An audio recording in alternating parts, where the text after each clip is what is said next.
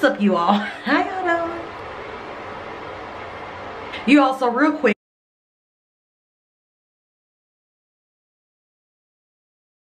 quick, I just shared with you all um a Snapchat from Monifah where she said basically that she's going to start exposing some things. I'm not sure where did this come from, why is this on her mind, but Monifah, get the exposing because maybe this can help solve some things. If somebody needs to be exposed, expose them you know, expose them. So, um, I seen where Miss Teresa has asked for everybody to get the word out that James Coleman did not do anything to Kenneka.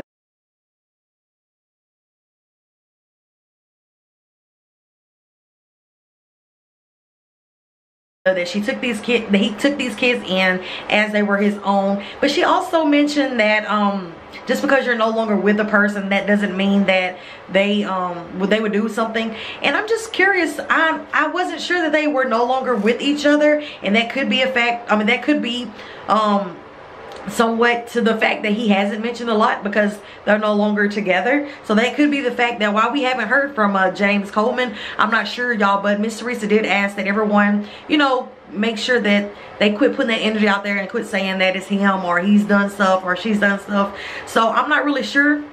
Y'all let me know in the comments below. What do you all think? What do you all think? What do you all think? What do y'all think? It's been 24 hours um, I seen that Zack TV had hit me up on Facebook Messenger at 119 this morning.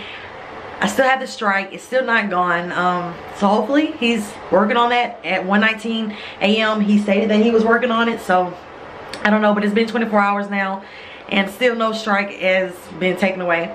But that's neither here nor there, you know. We're just going to go through these videos um, this way, doing Kenneka Jenkins videos pre-recorded and I just drop it how it is, you know what I'm saying? Also, I wanted to share with you all um, the fact that um, you all, um, if you all paid attention to the live where Zack TV asked me about the whole Chicago thing and I just really was just like, threw back from it because I was like, mm, like why would you rush to bring me down or you know what would what would really be the cause for me to go down to Chicago? You know what I'm saying? And y'all, I'm also gonna insert in this clip or whatever, um, this video, I'm gonna insert a clip of I literally you all when I told him that somebody hit me up just the other day.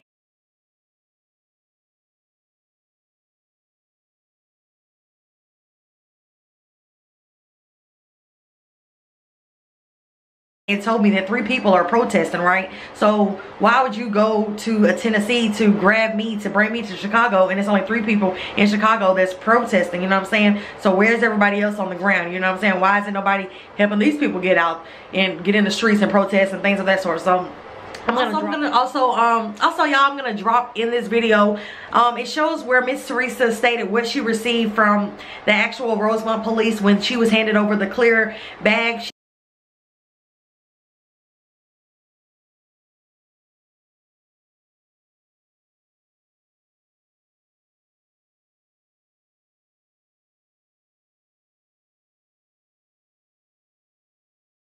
stated what she was given in that bag y'all. So um I know a lot of people were um, looking at AB's video for like the truth and things of that sort and he broke down like all these different things including the pink tie that was the pink hair tie that was around her wrist that was like super dirty. But y'all Miss Teresa has confirmed and posted the picture of the hair tie. It was not dirty. It's still bright pink as it was when it was on Kenneka. Um, as far as the watch yeah the watch has a gray band. Um, so that part still doesn't make sense why there's a black band and a gray band, so I don't really know.